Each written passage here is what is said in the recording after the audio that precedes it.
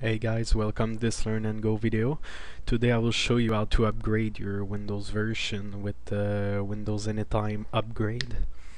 Uh, first, it's not a free service, you will not be able to upgrade your Windows version for free of course. You need to buy a, a key, you need to buy a Windows product. You can go uh, to a store near you and buy a new Windows version uh, and then use this key to with a Windows Anytime upgrade or you can buy directly online your key and then upgrade your Windows version. So let's start. First to access Windows Anytime upgrade you go in the start menu. Maybe it's already there as you can see but you can go in all program and it's gonna be at the top right there Windows Anytime upgrade. Click on it. You have two options. You can go online and choose a version of Windows 7 you want to buy. And it's gonna bring you to a website. Or you if you already have a key as I said you can use a normal key uh, if you buy a, a box at the store you can use this key or you can get the key online with the first option.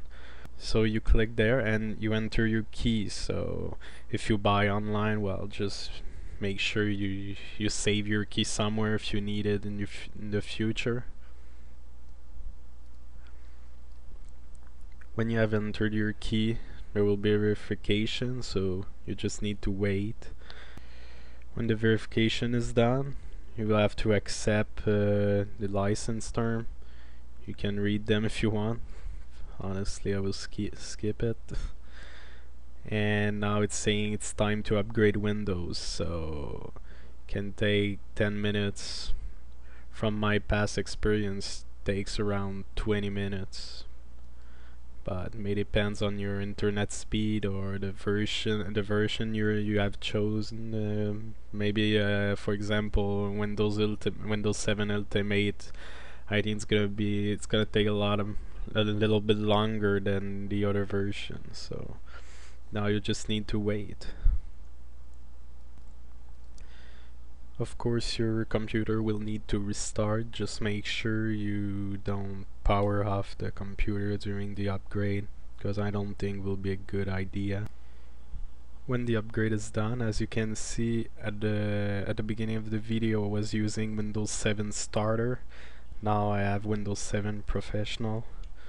So if I log in everything will be changed. Uh, we'll get more option of course because Windows 7 Starter is a very basic version of Windows 7 mostly for netbooks.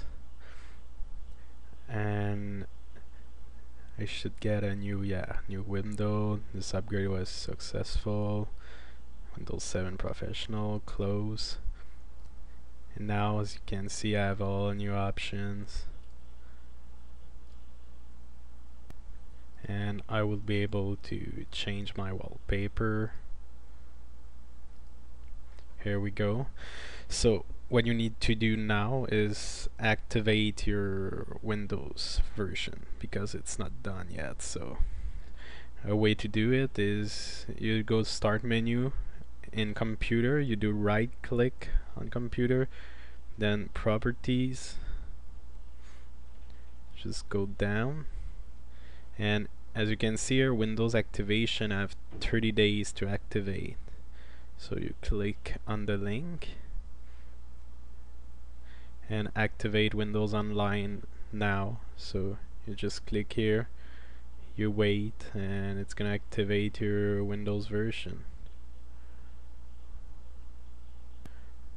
When it's when the registration is done well everything is done. You have a new Windows version and took it took maybe 20 minutes. It's that simple. So thanks for watching my video. If you want more tips you can go to learnngo.com or visit my youtube channel. Thanks for watching